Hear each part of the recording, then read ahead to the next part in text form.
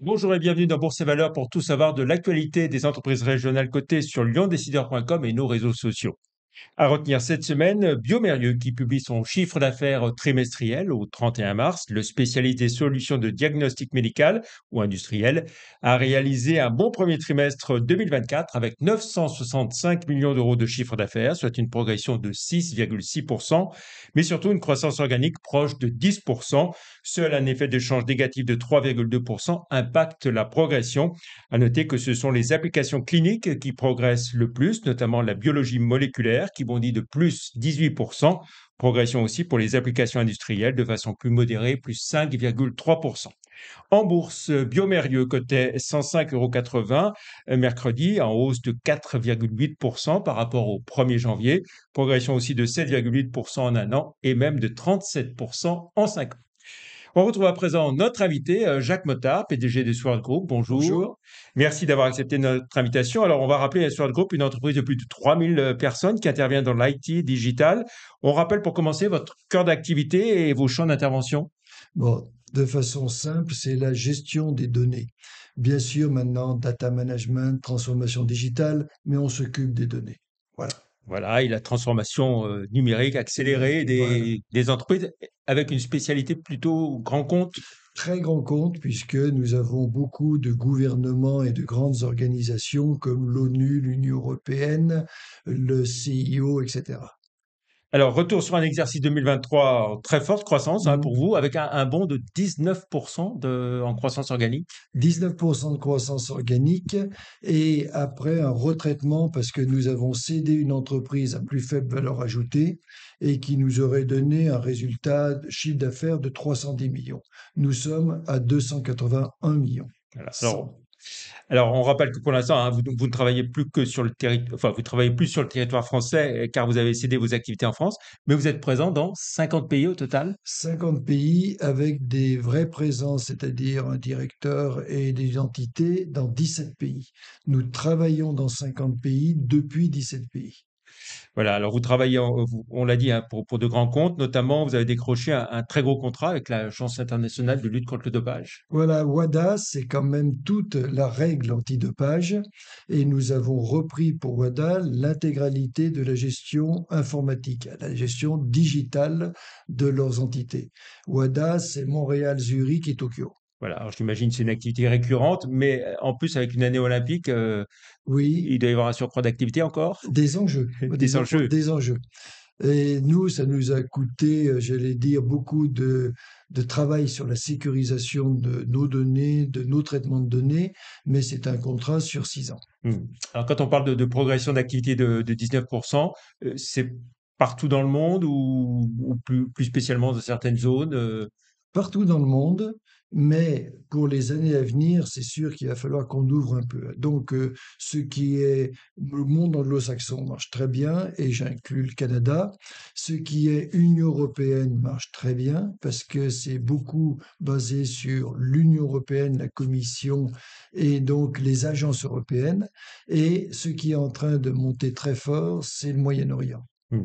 Alors, une activité en, forte hausse et puis une rentabilité, toujours un, un très haut niveau, hein, plus de 12% de, de votre chiffre d'affaires. Voilà, c'est pour ça qu'on a annoncé un business plan qui nous mène jusqu'à fin 2028, où nous aurons 15% de croissance organique avec 12% d'EBITDA margin. Voilà. Euh, le secret de, de cette, euh, cette marge d'EBITDA euh... L'entêtement?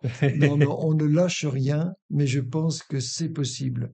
Ah, c'est vrai que sur ces 15% par an, il est fort possible qu'une année, ça soit 14, une année, ça soit 17. Mmh. Mais la moyenne sera délivrée. Mmh. Alors, vous l'avez dit, donc, euh, ce, plan ambitieux à 2024-2028, euh, donc ça veut dire que pour la seule année 2024, vous devriez euh, dépasser les 320 millions d'euros de chiffre d'affaires? Exactement. Et on est en bonne voie. Déjà, moi, je ne vais pas annoncer mon Q1 avant qu'il ne soit annoncé. Bien sûr. Mais j'ai toujours dit qu'on était confortable. Mmh.